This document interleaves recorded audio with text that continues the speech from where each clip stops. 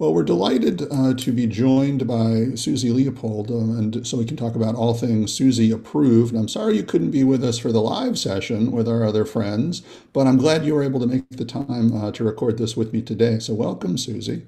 Thank you for having me. Appreciate you taking the time to pre record this.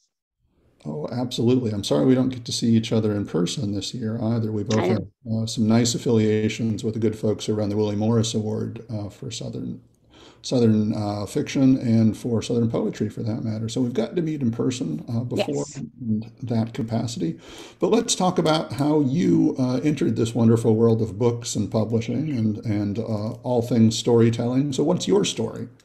So, my love for reading was not as a child. It pretty much came about when I was working. You know, I was getting my CPA and I was working in the city, and I always felt like I can't read. You know, I didn't have the time to read.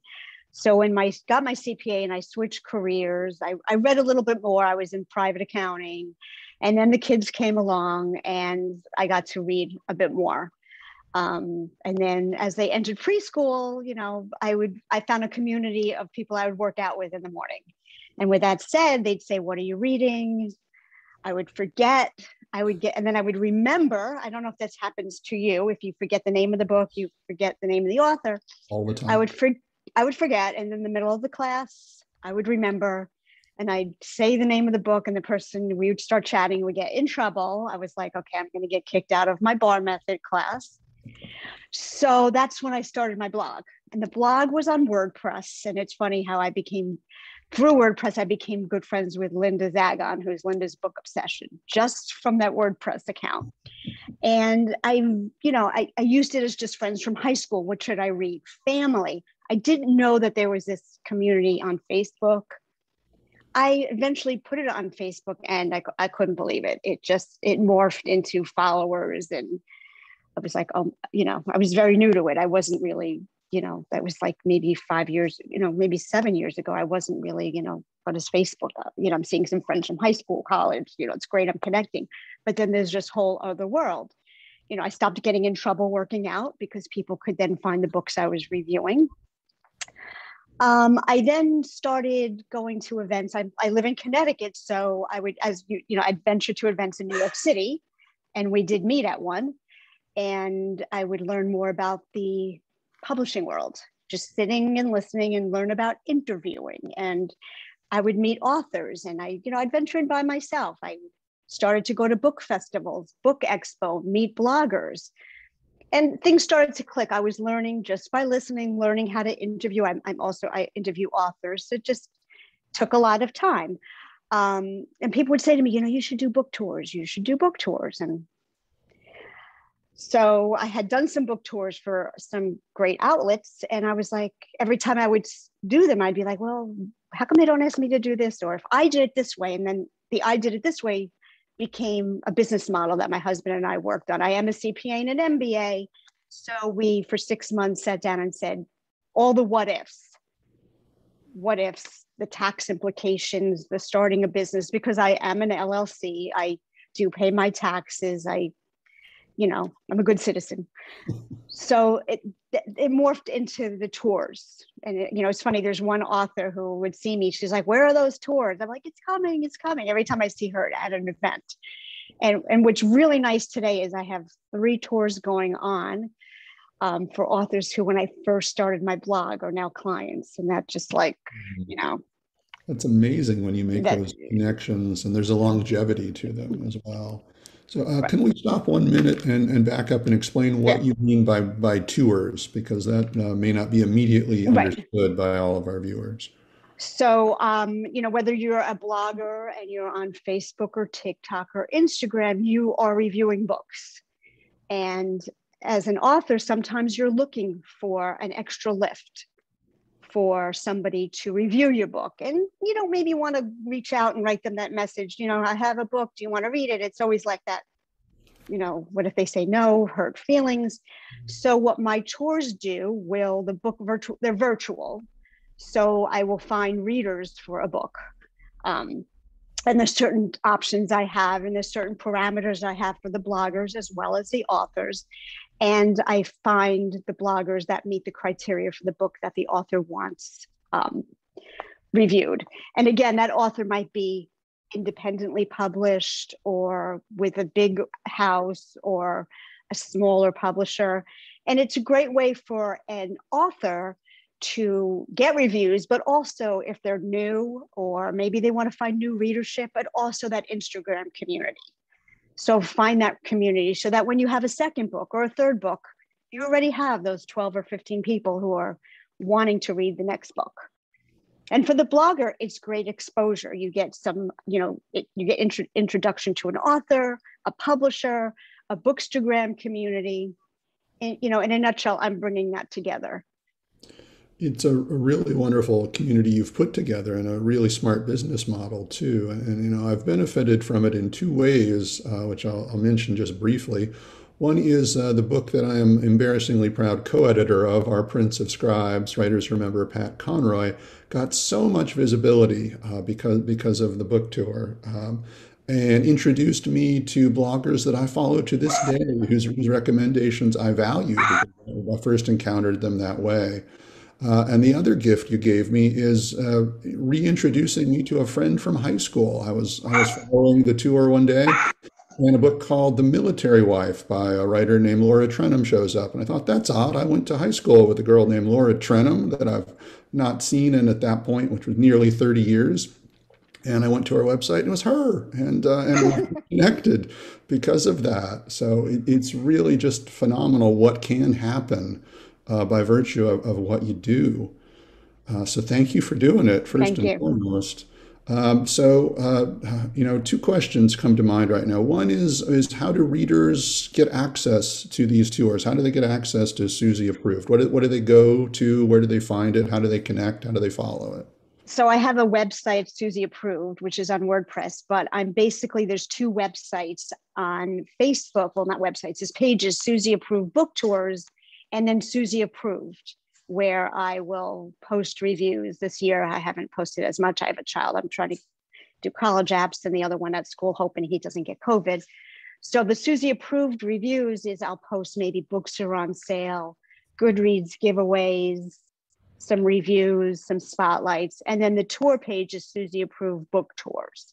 Those are also on Instagram. And if somebody is interested or an author, um, it's you know there's suzy approved book tours at gmail.com is where typically a blogger will write me or an author will write me. But typically those pages also on twitter you can find a way to me. I don't ask you know i don't have a google doc to say sign up even for an author. I like to have for each party i like to chat with the author and understand their expectations.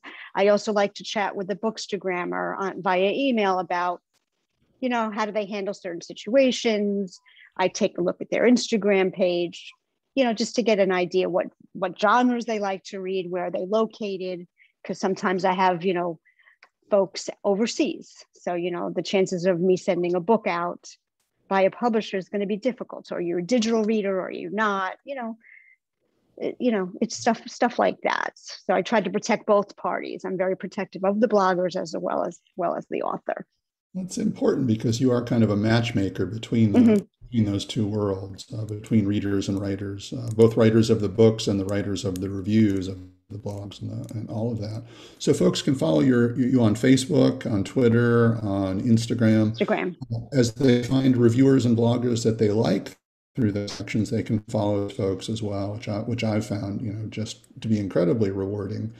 Um, and let's let's uh, focus in a little bit more. And we talked about this a little bit just now, but how writers uh, and publishers, how authors and publishers can kind of reach out to you and, and see if they have a book that would be of interest for your model. How do they do that? They will send me an email. Um, sometimes, you know, sometimes they'll be at like apparently there was a panel that took place, and I was talked about on a panel. Um, sometimes it's meeting day. I go to the, I go to a few book festivals. I went to Book Expo. I don't sell the tours because I truly want, you know, I don't solicit. I want the author who's interested. I don't want to strong arm somebody into doing a tour. So it's typically the I've been running off of word of mouth, and then, and I'm and I tend to repost on my Suzy approved tour page. I repost all my bloggers posts so they can get a flavor of the tours and you know they can also see on the Facebook page the amount of people who are on each tours. So typically an author will write me and say, you know, just send me your information. So I'll, they're interested, I'll send them. I have, you know, as I said, when I worked on a business model, I also have a sheet that details about me, my pricing, my history, like I'm a CPA and MBA, you know, how I operate. And then we take it from there. I don't follow up. I tend to not, if they're interested, they're interested. If, you know, they're not, I, you know, it's icky and I just say, you know, make sure you talk to other tour operators. You know, I want make sure they make sure you check my references. There's a lot of great tour people. There's a lot. There's space for everybody. There's room for everybody in this space.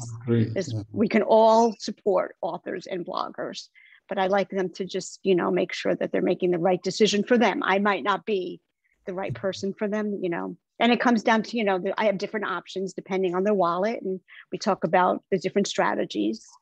And so, you know, it, it works out.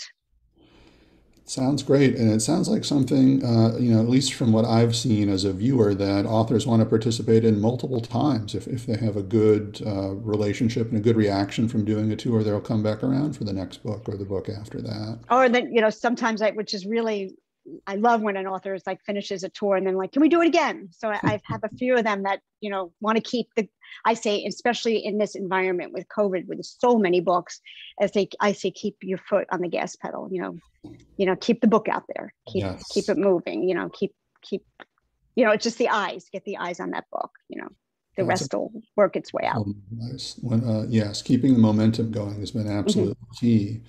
Um, in, you know, in uh, in an average year, which admittedly this is not, about how many tours, how many books would you be featuring through Suzy Approved? Okay, so the COVID year, 2020, I did 145 tours. Wow. Um, this year, mm-hmm. I have booked 175. That's and incredible. I've done cover reveals for 2022. I have a list going into 2022. A non-COVID year, I had about 80 so it's it's ramped up you know ask my kids how our dinners go they're you know they're they're like please mom you know can you fold the laundry? You know you know it, it's just they they they hope for me to just get out of the house go to events so they can order in. They just you know well, I mean, that too is momentum. That's the thing we just talked yeah. about. So obviously, uh, the Suzy approved tours have that right now, and I congratulate you on that. Thank you. And I thank you for everything you're doing for readers and writers, for all of us. You know, I say to anyone starting, it's slow and steady. You know, it's this was not something that I just did this year. I started five years ago. The tours were four years ago. You know, you take your time, you learn. I'm less nervous talking to an author. I'm less nervous talking to about a prod, uh, you know, about the, the, product I have. You know, the beginning, you're, you know, it, it was good. I can grow with it, and I'm, you know, I've gone go to events, listen to Zoom calls. I no one can sit and tell you how the industry works. I've I've picked it up, just going to our event in the city, just yeah. understanding how yeah. it works. It, you know, the publishing industry is just interesting to learn. Mm-hmm. Subscribe to Publishers Weekly. Just read what you're seeing. You know, it, it, it'll come together. It just takes time to understand it. It's something we talk about at the Conroy Center a lot under the umbrella of being a good literary citizen. You know, if you're a writer and you want to sell a book, you you can't be a guy who shows up out of nowhere with a rectangle. You have to have been a part of mm-hmm. the community. You have to have been involved in multiple ways, and it's a fascinating world to learn. Mm-hmm. You don't pick it up immediately, but you do pick it up, uh, as you say. So yeah, I think everything you're doing is smart, and obviously it's paying off for you. Thank you for, for everybody who benefits from the tours. So thank, thank you. you. Thanks for being with us for yep. our, uh, our virtual Lowcountry Book Club convention, and thanks for making a little time this morning to record this with me. Thank you so much. I hope to see you again in the city or or elsewhere down at your center. I look forward to it. Yeah. Thank you, Suzy. Okay. Bye.